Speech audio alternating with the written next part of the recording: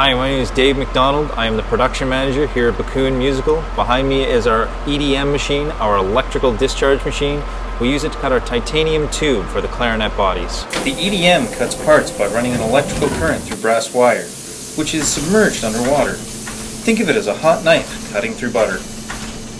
Originally, this machine was acquired to cut intricate keywork with precision accuracy. However, we use it for many other functions too. We start with this titanium tube. We end up with these titanium rings. The rings end up in this clarinet body right here.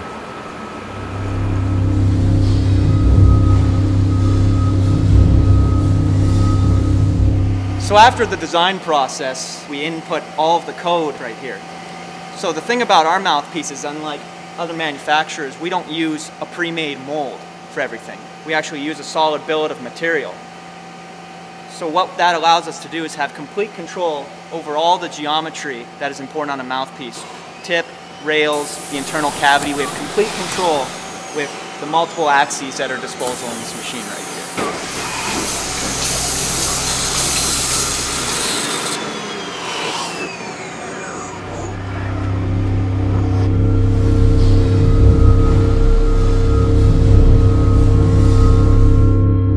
Backun Musical employs several large and very expensive CNC or computer numeric control machines.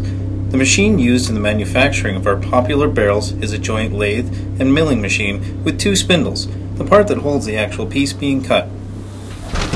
Here, we're making a 66mm Cocobolo Fat Boy barrel. Notice how the part is being passed from the sub spindle on the right to the main spindle on the left. This allows us to craft the barrel with a single point cutter as opposed to the traditional reamer used by other manufacturers. Precision, accuracy, and a beautiful finish set Backun products apart.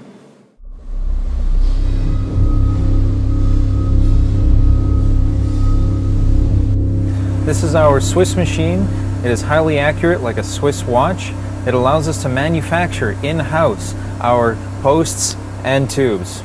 Swiss watchmakers are renowned for their multitasking abilities, as they don't typically make watches on an assembly line. Each watchmaker makes the watch from start to finish, same with this machine.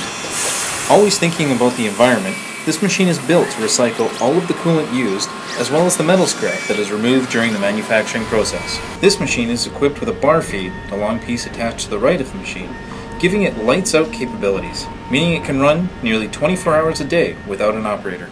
After the parts have been machined, they roll onto the conveyor belt and then into the parts box. Typically, we run thousands of parts at once. Pretty cool, isn't it?